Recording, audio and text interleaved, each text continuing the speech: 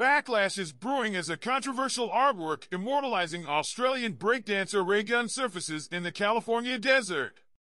With light photography capturing her infamous Paris Olympics routine, the response has been as fiery as the desert itself. Stick around as we dive into the artwork that's sparking debate and the renewed criticism against Raygun. Why is a tribute to breakdancer Raygun causing such a stir online? In this video, we're unpacking the backlash, the artist behind the work, and the intense reactions that have flooded social media. Let's break it all down! Photographer Darren Pearson, also known as Darius Twin, created a tribute to Raygun using his signature light photography in the California desert.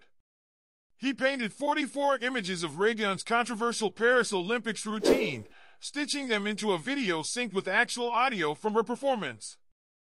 But the reception wasn't exactly glowing. Trolls were quick to flood his post with negative comments. Critics wasted no time slamming the artwork, questioning why Pearson would honor Raygun instead of the competition's winner.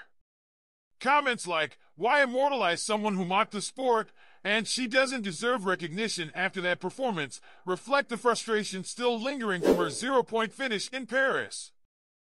Some even accused her of stealing an Olympic spot from more deserving athletes.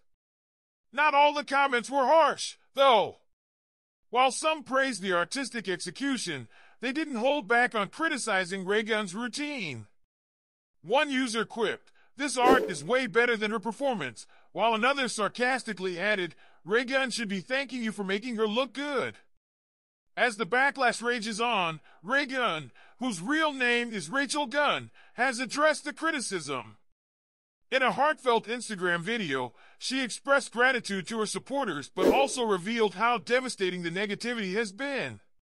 She insisted she took her Olympic performance seriously, emphasizing the hard work and dedication she put into representing Australia in breaking's Olympic debut. Despite the backlash, Raygun remains proud of her achievement. So, what do you think? Does Raygun deserve recognition, or is the backlash justified? Let us know in the comments!